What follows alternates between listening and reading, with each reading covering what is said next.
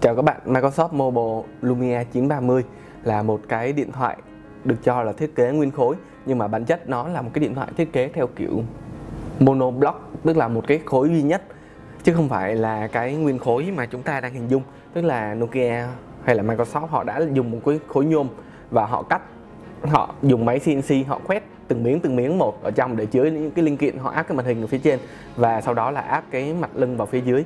Với cái cách thiết kế monoblock như vậy thì chúng ta hoàn toàn có thể mở cái mặt lưng ra, mặc dù Nokia hay là Microsoft họ không khuyến cáo làm điều đó. Thì bây giờ mình sẽ hướng dẫn các bạn cách mà mở mặt lưng của cái máy này để chúng ta có thể thay những cái mặt lưng khác thú vị hơn. Ví dụ như cái máy này màu xanh, một ngày nào đó tự nhiên mình thấy ghét màu xanh, mình có thể thay cái máy đập mặt lưng của cái máy màu cam này hay là nếu sau này chúng ta buồn buồn, chúng ta có thể ra Nokia Care chúng ta mua một cái nắp và chúng ta sơn màu hồng lên đó cho nó đẹp. Thì để mở cái máy này ra, thì đầu tiên là bạn phải lấy sim. Máy này không phải của mình nên mình cứ tự nhiên mình rút sim ra, mình không cần phải tắt máy. Đó, bạn lấy sim ra.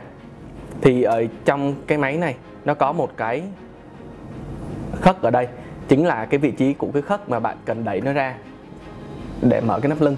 Thì mình sẽ dùng một cái nhíp, mình chọt vô đây để đẩy cái nắp lưng ra. Sau đó thì mình sẽ tách những cái khớp ra.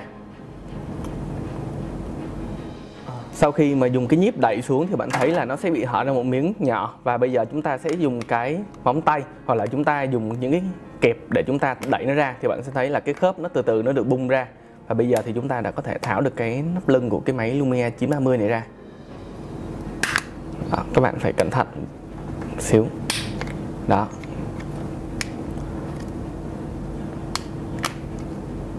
Đó, bây giờ thì mình đã tháo được cái nắp lưng ra và các bạn có thể thấy là ở đây mình, ở đây chúng ta có những cái nắp lưng của Lumia 930 và cái nắp lưng này nếu mà bạn làm mất hay là bạn làm gãy, các bạn có thể ra Nokia Care để các bạn mua. Nhưng mình nghĩ là phải đặt chứ không thể có sớm.